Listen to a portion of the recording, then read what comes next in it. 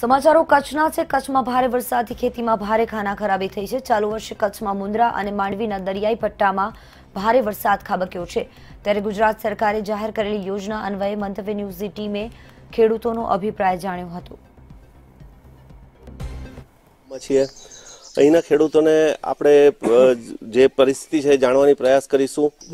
જે જે આપે છે એ યોગ્ય બરાબર છે. પણ ખેડૂતને નુકસાની ઘણી છે. બરાબર. અને આજે પણ ખેડૂતના પાકમાં પાણી વહે છે. સદંતર પાક નિષ્ફળ છે અને જે સરકારે સહાય કરી, જાહેરાત કરી સહાયની, એ મીમની મીમ જે દસ હજાર હેક્ટરના જાહેર કર્યા તો એક હેક્ટરમાં પચાસ હજાર સુધીનું તો ખેડૂતને ખર્ચ લાગે છે.